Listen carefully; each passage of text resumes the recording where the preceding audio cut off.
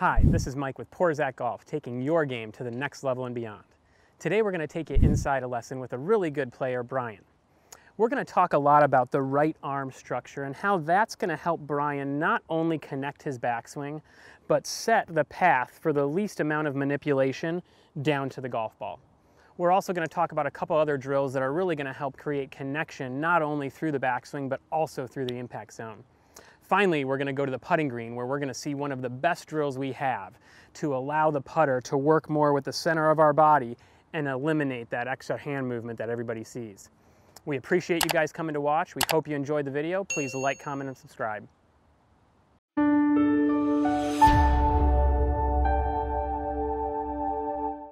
So this guy's got a really great story. He was a professional, right, for a while, playing down um, a lot of Golden State tours, a lot of local mini tours and stuff, some Mondays, and you know, I don't know, just thought, what wasn't wasn't maybe for you, Yeah. right? Um, and got decided to get his amateur status back. And the process of going through that, right? I mean, you got to send a whole le- letter into the USGA. You got to send them all your tournament results, and then they tell you the amount of time you have to wait. And what was it, like 18 months or something? Normally about the minimum. Um, so we finally surpassed that, and now we're good to go. We're playing in our first amateur event in since you were in college, Yeah. right? Five years. So that's awesome. But I think that's particularly cool because, like, to me, there's nothing better than high quality amateur golf, you know? And this is a guy here who I know we're going to see you in the US Mid Am. I hope it's this year, right? I want you to make sure you yeah. stay on top of those um, qualifiers because, like, dude, USGA events. Mid Am for you is just perfect. You know what I mean?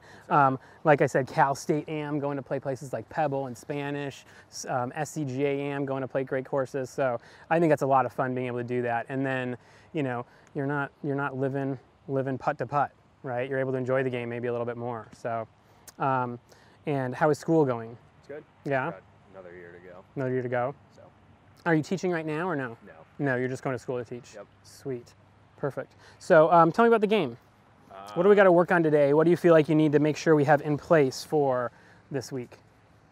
Honestly, it's been up until like two weeks ago. The game was as good as it's ever been. I mean, well, I'll tell you what, the swing you sent me yesterday was as good as I've seen from you out of the box in a while. Yeah. Okay. playing really well. Not hitting balls, just playing a bunch, Beautiful. and then got a little squirrely last like two weeks or so. Okay, and what did Squirrely look like? Uh, felt a little With the golf ball, right? With the Golf golf ball, ball. what did it look like? Kind of left, kind of creeping back in a little bit. Yeah, Which wedges a little, kind of like sticking in the ground a little bit. stick in the ground, perfect. Um, and tell me this, when you were playing really good, what was the shot shape you were playing? Cuts. Cuts. Okay. Yeah. Okay. Awesome. Awesome. Let's uh, let's get you loosened up, dude. Let's get some swings and let's get after it. You were putting over there as you were warming up. Was rock rolling good? Uh, no. No. Okay. So we got to check that. was like unbelievable. And then last, re- just kind of just feel a little off. Okay. So we'll get that dialed in.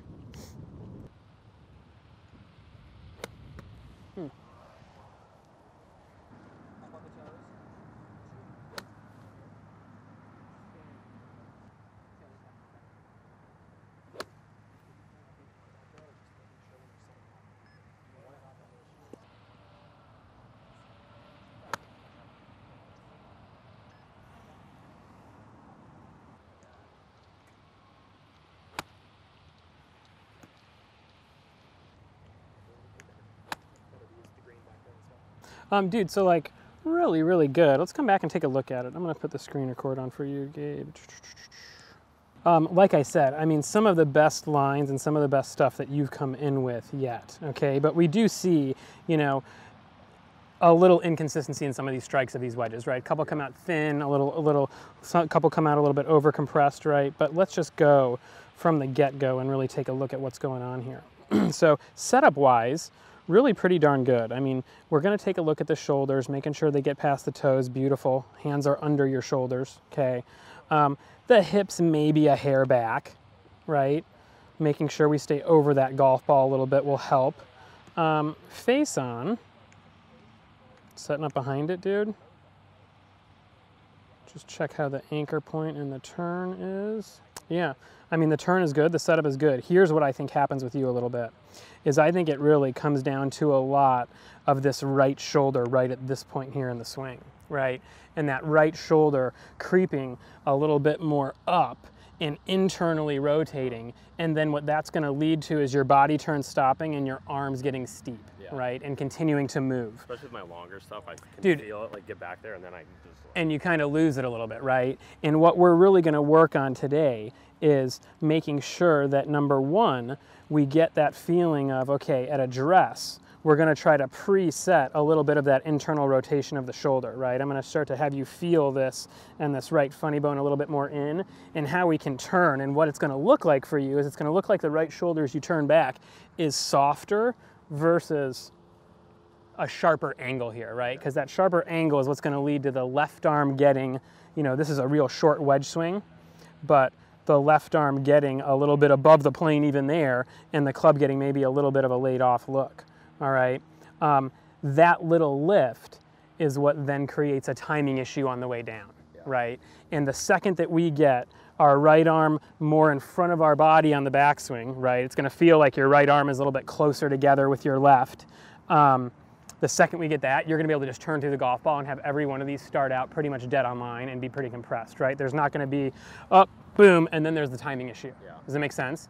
Okay, so let's get in there. Let's just make sure we stay over the golf ball with our hips. We're going to work on a couple things here. Let's get a different club. Let's get a um, like a nine iron out. Okay. I haven't had enough time to check out the new channel yet. And here's what we're going to do first. Okay, first we're just going to talk about this right arm and this trail arm because I do think that's going to solve a ton of problems. Um, stand up straight, right? Put the arms down there, good. And then we're just going to try to turn these elbows in like this and then put them closer in front of you. Okay, so this is basically going to be kind of your max range that you can externally rotate the shoulder. What I want you to do now is turn to the top and maintain that. Boom, right? That feels so different, doesn't it? Yeah. Go ahead, back down again boom, and turning that guy up there, right? And you're feeling this thing much, much, much softer, much more in. So now we're gonna get up here, we're gonna set up, and we're gonna do kind of a little bit of the, um, the, the Charles Schwartzel or the Louis Oosthuizen, where they would just let their arm drop, internally rotate their shoulder like that, and then place their hand on the club. And now our goal is really to feel this right arm just get turned to the top of the swing, right? Not feeling that right arm hike up and disconnect. So show me a couple of those. Just practice swings right now. Good, let that arm hang at address. Feel like you're giving blood. Really try to get a little bit more of it. Good, and now try to get the hand back on the club, okay? And really just turn that same thing up there. Dude, so different right there.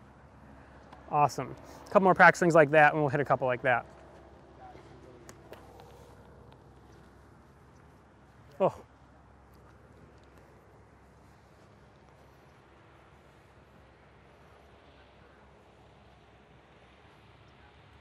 There you go. Good. Get the hand back on there. Keep that shoulder like that, and then just turn your body up there. Boom. So good. Awesome. Just gonna take a look at that before we even hit any. Right. We're gonna see a big, big difference here. Club still setting beautifully right up in front of your hands, right onto your right forearm. Right. Beautiful. But look at right there, even how much softer that right arm is than where it was earlier today. Let's go right there. And softer right shoulder really is what it is.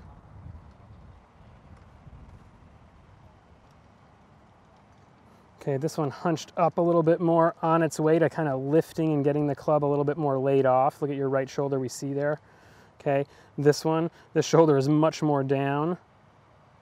Look at how we cover up that right shoulder and we get the club going a lot more down the line. Okay, again, this is going to be what what really defines connection for you of the arms and body and allows you just to not have any timing issues and just turn through the golf ball. You know what I mean? Um, this is also what's going to lead to your ability to now, by just turning through, have the shaft come down a little bit more shallow, right? Anytime the arms lift up above the body and then we rotate, that's where that little steepening motion comes, right? And that's where those little pulls come from. Good to hit one. Yeah, dude, absolutely. Get in there, feel that right arm kind of really, you know, externally rotate that shoulder, get the grip back on, and really try to just use the right side of your body to move that arm up to the top.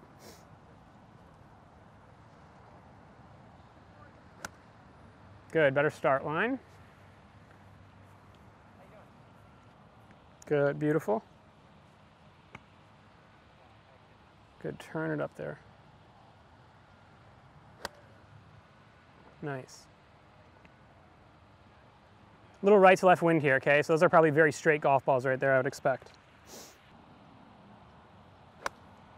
Hmm, how'd that feel? Way better, right? Good, couple more and then I'm gonna pull you over here to look at this.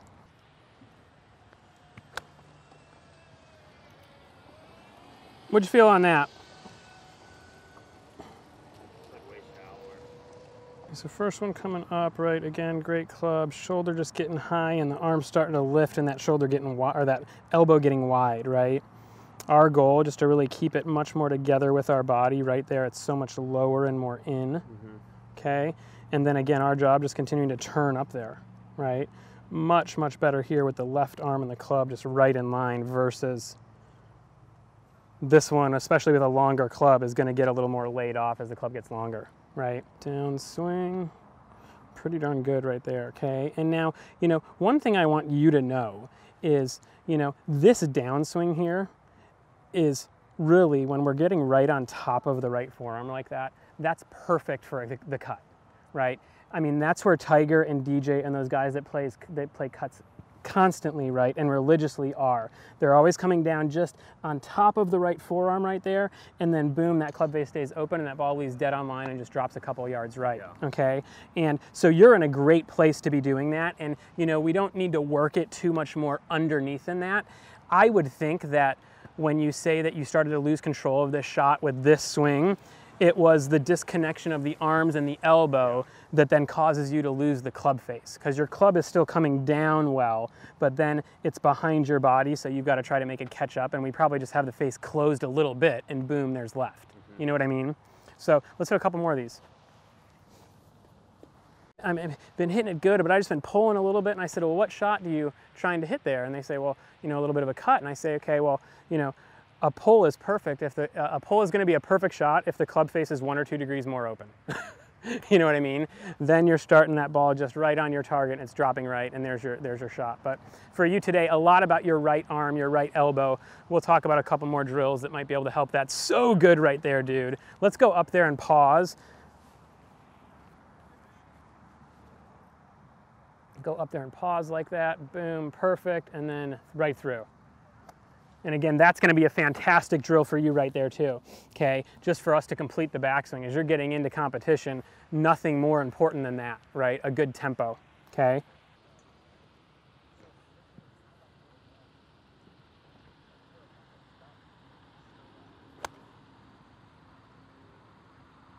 Good. You know, I think this is actually perfect for you to work on it this way because we're talking about a change, a pretty big kind of structural change for you, right, in this arm. We're gonna have to work on that, right? But the fact that we also are talking about the completion of the backswing and keeping the arms and body together, okay? I mean, it makes nothing but perfect sense for you to be getting up here, getting in that good setup. All right, so I got my right arm is more internal here. Excellent. Gonna turn this up to the top here. Feel this. Good. I'm gonna wait. And then I'm gonna go through, right? And it's really gonna help the ability for you to not have the old move of the arm still going up and then the body going in front, right? And that's where you would lose the club face, I think, you know, because the plane of the club is not bad. It's coming right down to the golf ball. So let's do some pause drills here to really feel yourself. Keep everything moving together. Good, turn it up there, pause, feel it, boom. Good. And for you, like this is a drill that should be hard at first, right? For people who the arms get disconnected, the club and arms keep going, and the body starts to unwind, it's really tough. You know, it takes a minute for them to get, okay, feel it, feel strong, boom, everything together. So I always say that because the drill is hard actually means it's a good drill for you.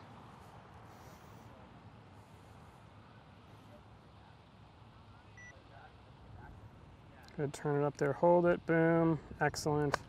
Oh yeah, so money right there. You feel that? Yeah. What does that feel like to you? It's way more solid and just kind of like the arms just fell down from there. Yeah, they just, and them falling down are just staying with your body, right? It's a lot harder though for them to fall when your elbow's up here and your body's already going, mm-hmm. right? And that's what was happening before. That's why I think this is just such a good little combination for you to work the right arm getting better and to work it in a full motion swing where you get to that position right there. Look at the club right down the line. It's even better than before. So it's just a little bit right of that line. Perfect. And let's see how this downswing looks. Oh, again, beautiful.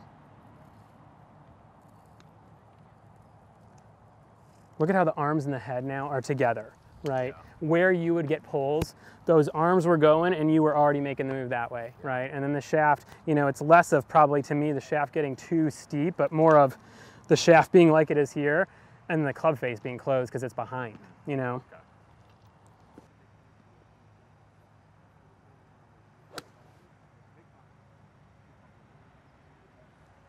Good.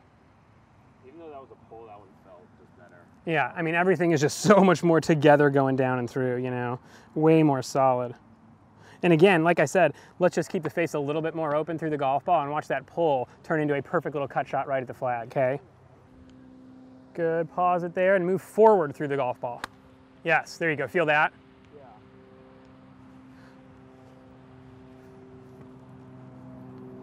So when we get you making a really nice pause, here's one of the first things of the day, right? Granite shorter club, but still you can see much deeper turn here, right? Look at that no right and right shoulder showing there. Again, partially because it's just turned a little bit more. That one's kind of up and more visual. But watch this. When the arms are continuing up without the body and then you start down, watch your head, how it's more down, right? And almost a little back, okay?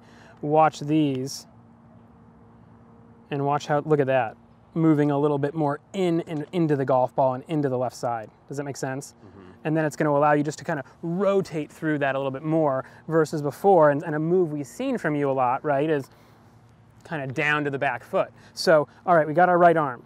Boom. We're going to the top. We're, we're keeping it here. Excellent. And now I'm going to work forward and through into that golf ball with everything, right? Using my core to really just move the arms and the body ahead versus what would happen before that and then a little bit of that. You know what I mean? So up to the top, pause it, and boom, move forward, turn around the front foot. We'll get something longer here in a sec. Good, awesome.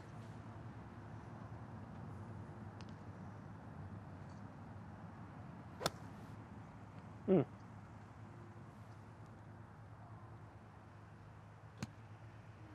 So much better, dude. What'd that feel like? Pretty good. Yeah. Does it feel like you're getting a little bit more into that front foot? Right, yeah.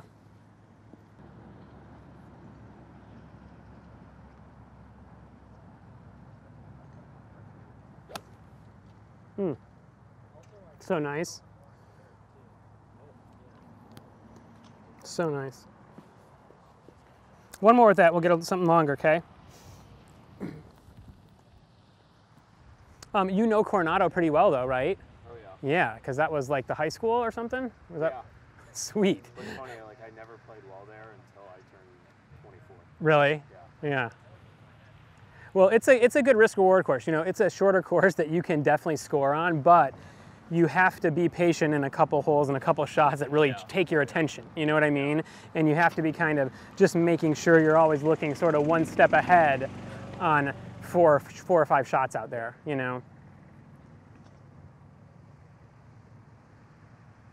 Good, feeling that right arm, boom.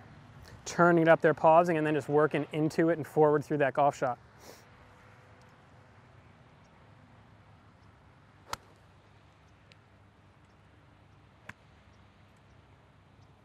Good. What did you feel there? Did the arm stay behind at all there, or did you feel like everything moved together? I felt like it moved together. Okay, good. Let's get uh, let's get like a seven or a six. You are a uh, uh, striker of this golf ball, and wait till you see this driver.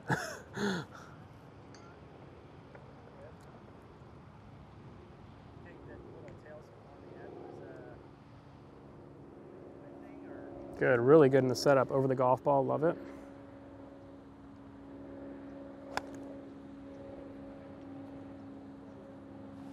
Good. And make sure, let's make sure that as we go to that top, okay, and this is what I'm always looking for in this drill with everybody, is I'm really focusing just on when the club stops moving at the top of my swing.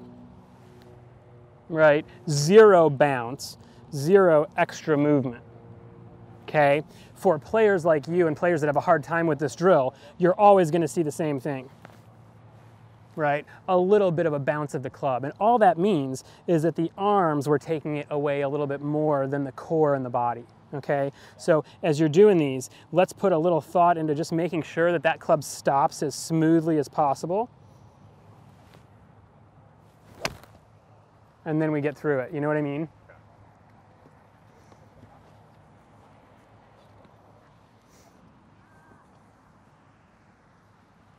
Feeling like you're literally almost doing a sit up over that golf ball, right? The arms are soft, the core is tight.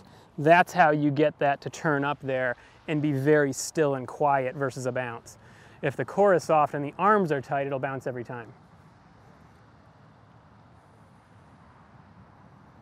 Good.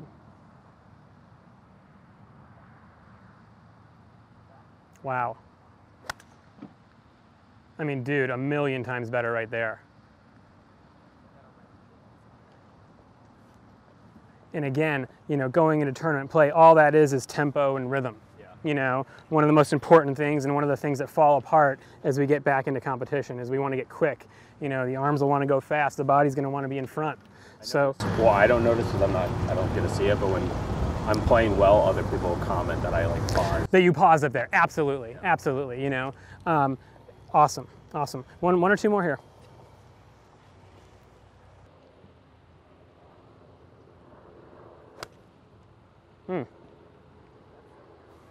Dude, so good, isn't it? I mean, can we just get you to Nantucket this year, please? can they please have a mid-am this year? Oh my gosh, look at how pure this is. Up to the top once for me. Hold it up there, right? And as we're coming down, we're feeling that same drive there, right? Boom, absolutely. You can pump that a couple times. Get up there and kind of feel yourself again. Just use the core and move that elbow back down in there in front of the body. Yes, dude, awesome right there.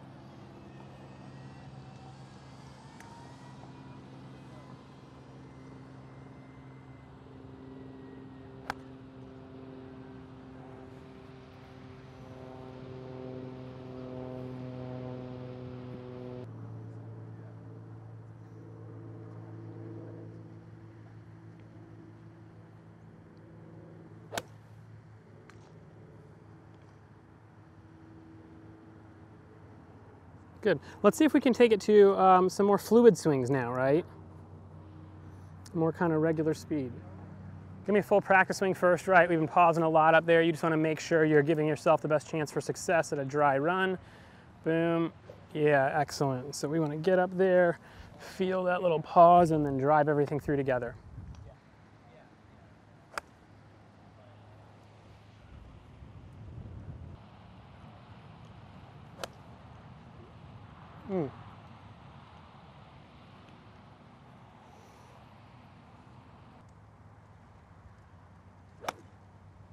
Um, I want to see this. I want to have you put this under your left arm and take some swings, okay? It can come out after um, you hit the golf ball, right? The goal for me right here is just to keep the arms with the body more as you turn and not allow them to kind of fall behind. When I say incomplete backswing, I mean that arms got up there and body went really quick, you know? We keep this connection. This should be um, a lot more solid.